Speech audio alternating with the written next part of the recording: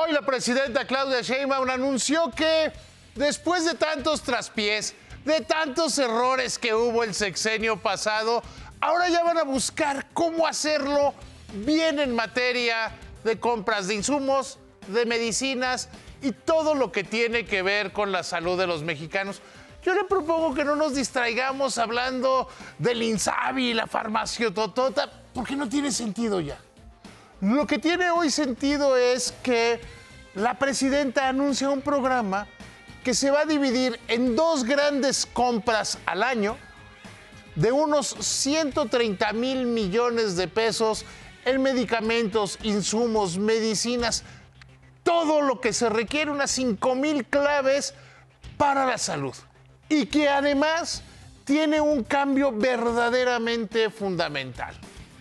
Ahora se va a pedir a quienes las distribuyan que en muchos de los casos las lleven directamente al hospital, directamente a donde se necesita. Que haya una mayor transparencia, que haya una mayor equidad en estos procesos de licitación.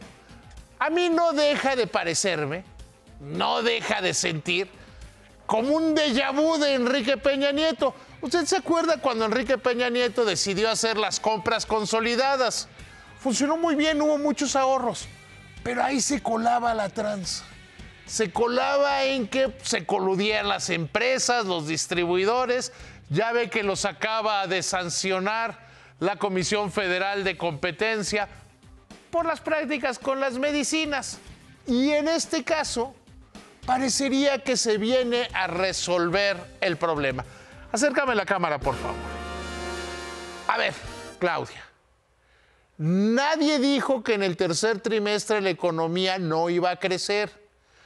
El consenso de los analistas era que iba a crecer 0.8% y creció 1%. Así que no es que se hayan superado las expectativas, nada más salió un poquito mejor de lo que se esperaba. ¿O tú cómo ves, Nacho? Muchas gracias, David.